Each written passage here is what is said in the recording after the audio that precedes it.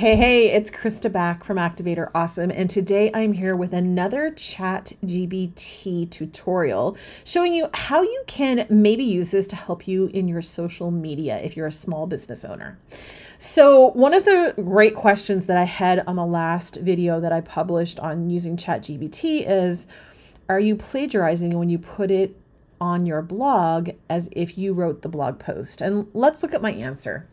So, my answer is definitely that you're risking plagiarism if you directly copy from any kind of AI, whether it's ChatGPT or any of the other ones that are on the market right now, without making significant structural changes. Because here's what's happening. What's happening is is that AI is combing the interwebs now to be able to respond to whatever question that you've asked it to do. So if it's you've asked it to give you, you know, I don't know, 10 reasons why someone should use ChatGPT to make their social media easier, you're going to get responses generated from user content that's already out there. You definitely have to consider whether part of what they might be gathering information from could be misinformation. Uh, so there's lots of people that put misinformation on the internet intentionally. And when you're using AI to actually help you with something, you have to consider that bias, okay? Because that's definitely existing.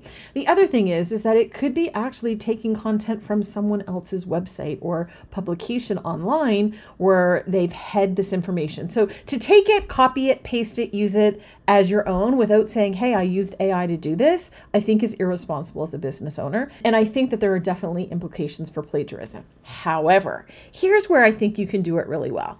Here's what I did is I went over to Instagram and I found one of my Instagram reels that did, you know, relatively okay for views, all right? So then what I did is I went ahead and I just copied the caption because this is what I think you where you can use this and where it will really help you.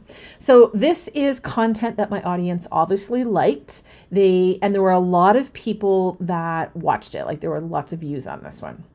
So what I can do is I can actually use it and go into ChatGPT and ask it to give me several versions of the same caption. Because if this content resonated, the messaging is important. My audience doesn't need to hear it once, they need to hear it multiple times. So if I come in here and I start a new chat, I'm just going to actually refresh. It's always a good process to refresh the page just so that you can make sure that it's going to take it. So many times I've come in here and had it open I've put in my question or information that I'm asking for, and then it tells me that it didn't work. So refresh, always refresh. And I'm to tee it up with a little bit of information here. Okay, so here's what I did. I'm a business coach for women over 40. I have an Instagram caption that worked really well for my audience. I'd like you to give me five different versions of the same caption so I can use them in different social media posts sharing the same content. Here is the caption, and then I put a colon, and then I hit shift return to create a space. And then I pasted it in, literally just pasted in my caption, and I'm going to hit the airplane.